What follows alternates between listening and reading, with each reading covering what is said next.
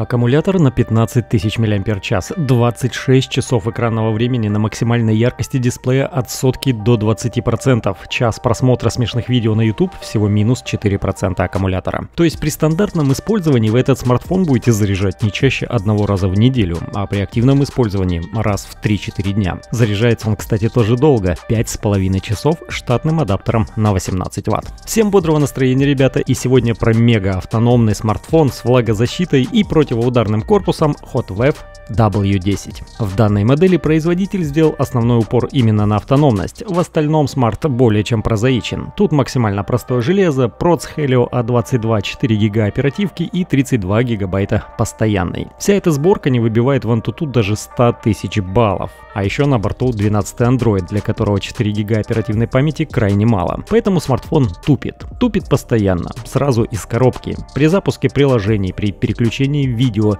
про игры я вообще молчу это просто не его стихии. Запустить, конечно, можно, но все лагает даже на минимальных настройках по графике. Этот смартфон рассчитан на звонки, мессенджеры, соцсети и интернет-серфинг, что, собственно, также положительно сказывается на его автономности. Первое, на что обращаешь внимание при распаковке данного смартфона, это его вес и габариты. Он весит почти полкилограмма, и не дай бог его уронить себе на ногу. Ему-то ничего не будет, а вот я два дня хромал. Пользоваться таким кирпичом одной рукой крайне сложно, смартфон толстый, так как, во во-первых, батарея занимает прилично место, плюс противоударный корпус добавляет в габаритах. В кармане штанов такой особо не потаскаешь, нужны подтяжки. Корпус прорезинен, но не разборный. В случае ремонта необходимо будет отклеивать дисплей. Расположение органов управления классическое. Справа качель громкости плюс кнопка питания. Кнопки металлические, без люфтов, собрано все качественно. Слева под заглушкой гибридный лоток, симка-симка или симка-флешка, карты памяти поддерживаются максимум до 512 гигабайт. Снизу реверсивный Type-C разъем для подзарядки, сверху мини-джек под наушники.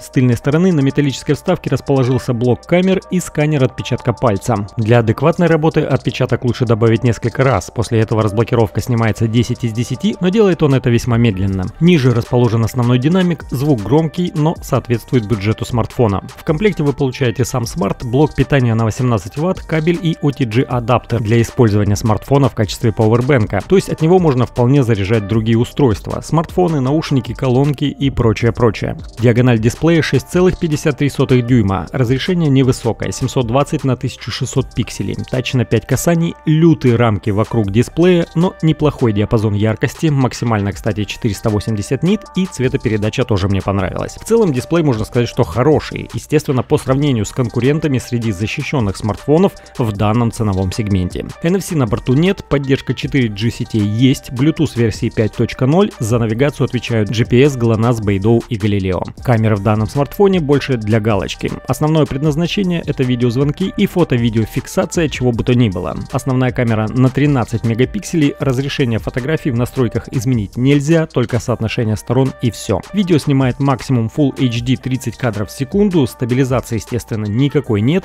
а фронтальная камера тут вообще на 5 мегапикселей.